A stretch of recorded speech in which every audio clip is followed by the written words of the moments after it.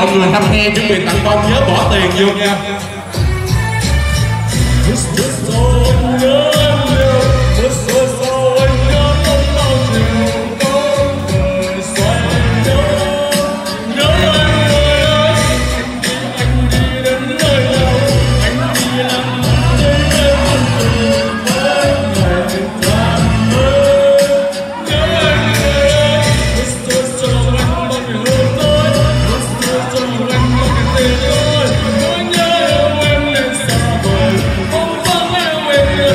yours.